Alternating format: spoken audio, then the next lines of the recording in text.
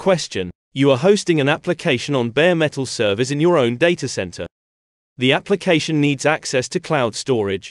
However, security policies prevent the servers hosting the application from having public IP addresses or access to the internet.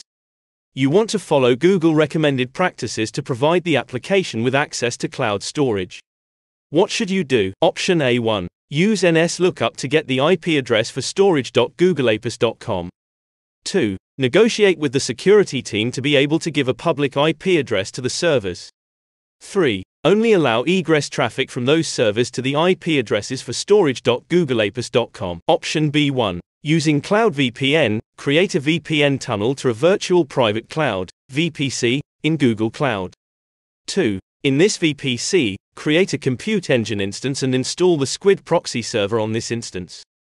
3. Configure your servers to use that instance as a proxy to access cloud storage. Option C1. Use Migrate for Compute Engine, formerly known as Velostrata, to migrate those servers to Compute Engine. 2. Create an internal load balancer, ILB, that uses storage.googleapis.com as backend.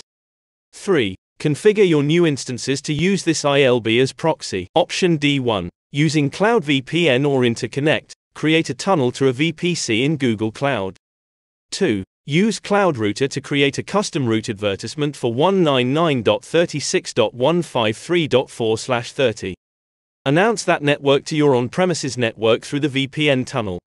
3. In your on-premises network, configure your DNS server to resolve googleapis.com as a CNAME to restricted.googleapis.com.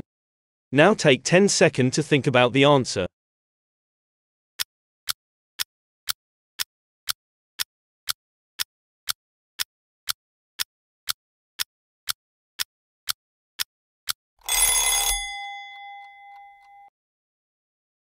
A. It's bad practice to use NSLookup to try find a permanent IP address because IPs can change.